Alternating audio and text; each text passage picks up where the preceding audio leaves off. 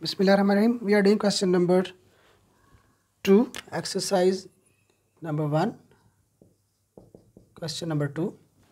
ये क्या है write the following decimals in descending order इसमें एक पार्ट करते हैं पहले हमने एक किया था अब हम एक और करते हैं ये है part number B four point three two four point three two four point six eight four point six eight zero point three one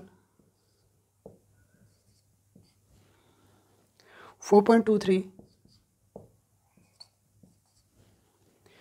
Four point three one.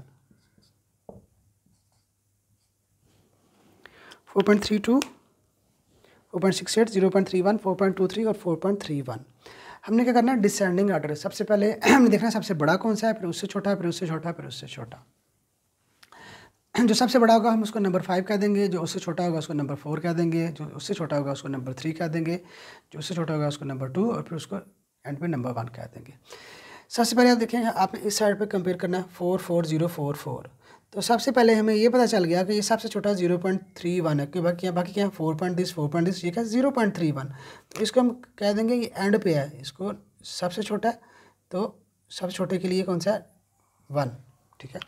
अब हमने कंपेयर करना है वन टू थ्री फोर इनको। अब ये सारे चारों four four four ये इक्वल है। अब यहाँ पे जाना है टेंथ में, ठीक है? अच्छा ये वाला हो गया। ये थ्री है सिक्स है टू है थ्री है। तो सबसे बड़ा सिक्स तो फोर पॉइंट सिक्स एट जो है, ये है सबसे बड़ा। तो जब से जो बड़ा है, वो बिगेस्ट है, उसको कहेंगे नंबर फाइव ठीक है? बड़े से स्टार्ट होना है ना, बड़े से छोटा नंबर फाइव कह दिया। जो सबसे बड़ा होगा, उसको नंबर फाइव कह दिया। अब इससे छोटा क्या है? ये फोर पॉइंट थ्री टू है, ये फोर पॉइंट टू थ्री है और फोर पॉइंट थ्री वन है। अभी देखिए फोर फोर फोर ये थ्री है, ये टू है, ये थ्री है, ठीक है?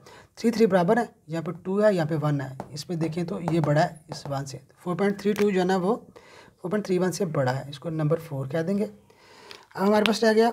फोर पॉइंट थ्री वन और four point two three four four बराबर है थ्री और टू में से थ्री बड़ा है तो four point three two one बड़ा है इससे, ठीक है? तो इसको कह दिया हमने नंबर थ्री और ये नंबर टू तो जब हम ऑर्डर करेंगे तो क्या करेंगे? सबसे पहले नंबर फाइव लिखेंगे फोर सबसे biggest four point six eight फिर नंबर फोर क्या? है four point three two four point six eight is greater than four point three two four point three two is greater than number three पे क्या? Four point three one four point three one is greater than number two पे क्या? Four point two three और four point two three is greater than zero point three one इस तरह से हमने इसको जो है ना डिसेंडिंग